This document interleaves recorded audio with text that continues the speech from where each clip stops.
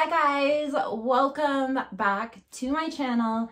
It's your girl, Renee Carlson, and the first thing I'm gonna do is take off my clothes. we have this to talk about.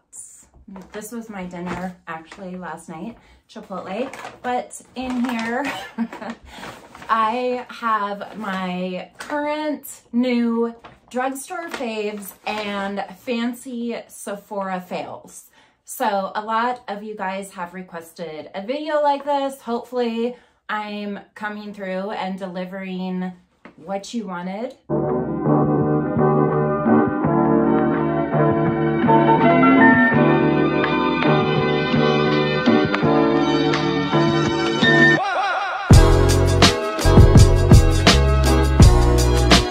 So if you like favorites videos and videos like this, give this video a thumbs up. Let me know in the comments what else you would like to see. I am open to feedback or suggestions or anything like that. So without further ado, let me take my clothes off and let's get into this much better. We'll see how this stays on.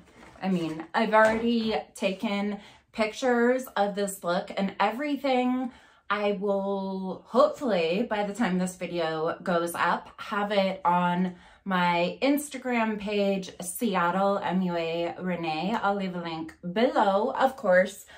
As per usual, this is from Fashion Nova and if anybody cares, it does kind of go a little high there because these are high-waisted jeggings from Express. I feel like everybody and their mom has been talking about Sephora, showing stuff from Sephora. So I wanted to basically come through with not loving what I got at Sephora. And this doesn't mean that these products are bad. It's just they didn't work for me personally and my mom actually uh, definitely agreed that I looked like a corpse. Take off that lipstick. because why? Because you look dead and it makes me not like, I don't like to look at you like that. I'm just gonna dump this out so it's not an eyesore. Let's start with skincare. I have tried so many uh, moisturizers and creams from the drugstore, like the L'Oreal Revitalift, regular Olay, like the Regenerist one, whatever that is. All of them to me, and I have oily combo skin, but all of them tend to be greasy and kind of leave this residue on your skin. But this Olay, the Total Effects Whip, this stuff, it has a good consistency to it. And it just, even my mom was using it the other day. It has like a nice light scent. It does have that Olay type of scent to it. You know what I'm talking about. But it just soaks into the skin. It's a really lightweight, almost gel-like consist consistency. But yeah, this is definitely my favorite drugstore cream ever. Then I have a primer from Wet n Wild. This is the Impossible Primer Base. I did use this today. Gotta love that holographic packaging. So the claims on this really got me. It is the one silicone-free primer that does it all. So on the back, it says it mattifies, it hydrates, it blurs pores, it preps skin for lasting makeup, and it's impossibly silicone free. Uh, as you can see, the consistency here It does a really good job of blurring my pores without being greasy or heavy or anything like that. So I am super impressed and super happy since I've been trying out this Wet n Wild Impossible. I almost dropped it. I drop everything. Uh, so definitely recommend that. It is inexpensive and I would say that it's better than a lot of the primers I have tried from Sephora. So definitely check this out.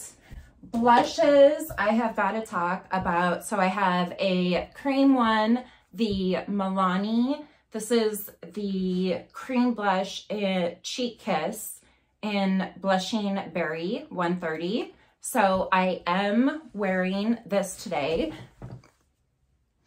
It just gives this really, really pretty flushed look. Of course, I have on bronzer and highlighter as well, but the blush is just in the middle there. So what I like to do is just use my finger and dab it on. What I like about this Milani one specifically is that it doesn't disrupt my foundation or makeup or putting things on top like highlighter. It didn't seem to really affect any of that. And it's just, it's my type of blush that I'm going for these days. This poor arm is going to have all kinds of products on it. So as you can see, it's just got this beautiful berry shade to it. It does kind of pull red when you first put it on, but I just was able to blend it out. I don't ever use like a beauty blender or anything, guys. Like I'm not a sponge girl. I'm a brush girl or a fingers. if I can't use a brush, I will get in with my fingers. That's why they're always dirty. If you don't love cream blushes or you just, you know, want to go with powder, something easy, I definitely recommend the NYX Sweet Cheeks. They have matte ones. They have ones that have a little bit of shimmer in it. This is the shade Summer Breeze. I wore this the other day, but I've been wearing this one a lot. It's perfect for summer. Do a little swatch here, we'll go. But look at that. And it just is, they're so blendable and pigmented and I just love them. So highly recommend trying this blush out. Hopefully you won't get one in the store that has been slapped by me. So if you know me, you know that I am not a huge fan of Morphe, but I do have to give a quick shout out to this bronzer. This isn't one that I would recommend for contouring, but if you're looking for that all over sun-kissed bronze look, this is great. It does have kind of a matte and a shimmer side. I have a lot of light in front of me, so this actually is pulling quite lighter than it is in person but this is the shade Vlogger. I believe it's it's like a medium sort of bronze. And when you mix the two together, it doesn't accentuate texture and it just kind of blends into your skin. And I've tried it over foundation. I've also tried it without any foundation on, just like need some color before I run out of the house type look and it does great. So I do recommend this. I actually do. One more thing from the drugstore, the e.l.f. Wow Brow. What I love about this is the tiny little brush spoolie. So it's really easy to get inside where you put your brow powder or your brow pencil or whatever it is that you drew your eyebrows on with. This just has a really small brush, so it's able to tame all those hairs and really just make it stick. I think it's like two or three dollars. So definitely recommend. Okay, now I know that it seemed like everybody loved these glow recipe watermelon glow niacin cyanide dewdrops. These, uh, well, let me just be honest. I have tried them a few times. I washed my face and put this on and went out into the living room to watch some TV. And I noticed that it never really soaked into my skin. These just like sat on my skin. I say these because it's called dew drops, but I mean, it's just a liquid. And I just felt sticky. I felt like I was in Florida when I stepped outside.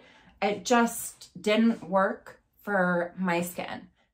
I got to give a shout out to uh, Gucci. Unfortunately, this lipstick shade specifically, I do love the tinted balm I have. It has the flowered packaging. This has the gold, but I have been wanting this shade, which is Carol Beige 103. I've been wanting this shade for a while, so I had it in my cart for the Sephora sale. I finally got it. I was all excited the other day to put it on and I looked like a corpse. I like that Gucci has kind of stepped out of the norm with their shades. See, on the skin, it doesn't look like it would be that bad.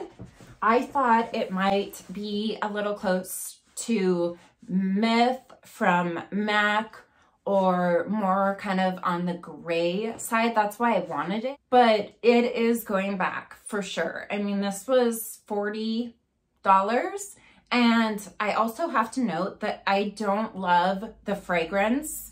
If you're that type of person that has a problem with fragrance, like that slight perfumey smell on your lips, then you're probably not gonna like these Gucci lipsticks. I know they have different formulas. This happens to be a matte finish, but Carol Beige just, we don't get along. It is being returned along with the Glow Recipe Dewdrops.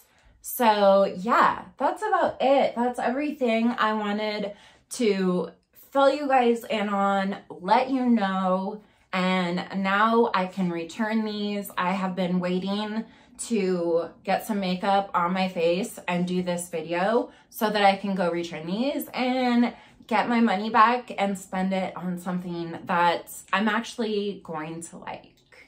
I hope you guys enjoyed this video. Make sure to follow me on Instagram. That's where I keep you guys updated as to what's going on, what's coming next, giveaways, for example. So follow me on there and make sure to subscribe while you're here. And I will see you guys in my next video. I love you.